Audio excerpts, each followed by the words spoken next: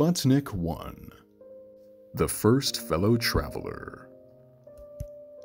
Five centuries from now, when historians look back to the 20th century, it will be seen as one of vast human conflict and the opening of a new age.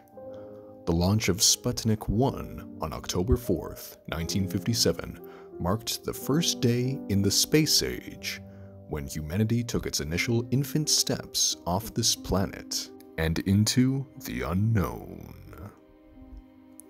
It was one of the most important events in the overall history of scientific achievement, unlike anything else seen in history.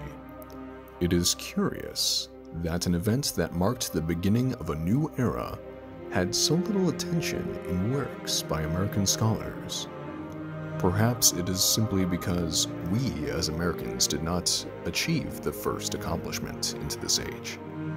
That credit belonged to the Soviet Union.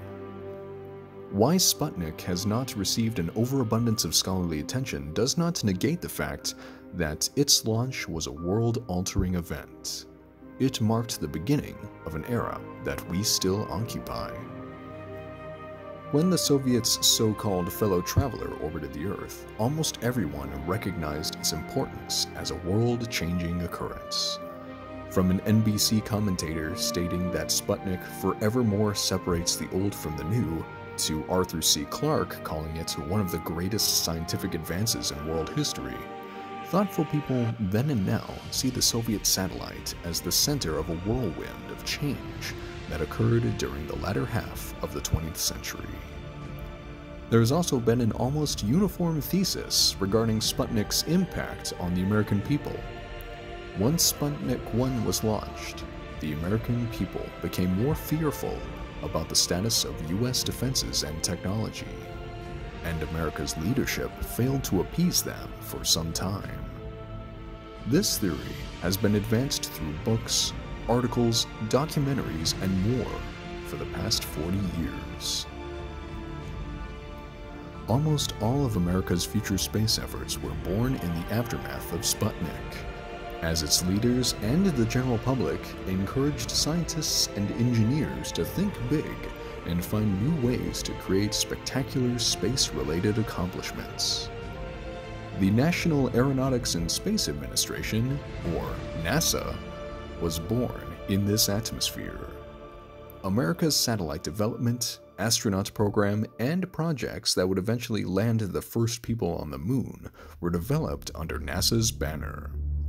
While Sputnik made its imprint on America's early space efforts, so too did President Dwight D. Eisenhower, who has not received nearly enough credit for his contributions to the American space program. It was his firm belief that space exploration should be a civilian endeavor only supported by military resources that led to the creation of NASA as a civilian organization. This action showed the world that the United States wanted to explore space for the benefit of all humanity. It was also President Eisenhower who approved of the initial funding for what would become the Mercury program, that sent America's first astronauts into space and the first funds for research into rocket engines that would ultimately develop into the Apollo Saturn booster series, the very machines that made the moon landing possible. Satellites have not only proven to be useful for gathering intelligence or scientific data, they have altered the very fabric of our lives in terms of how we interact with and use technology. The live reports from all over the world the viewing public sees on the news today is made possible by satellites.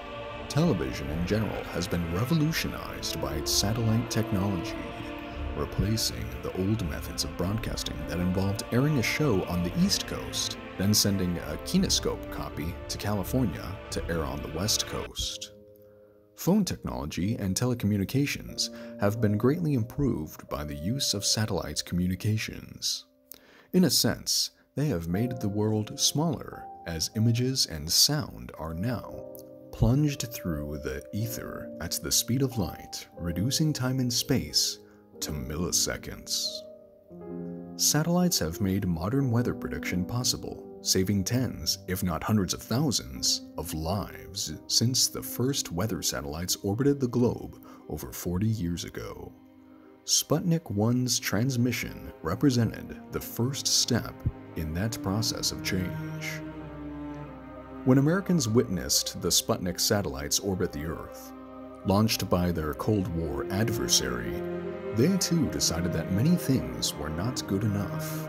They witnessed the dawn of the space age, and although the initial reaction by most may not have been all that positive, this fellow traveler eventually inspired future generations of Americans to reach out for the stars.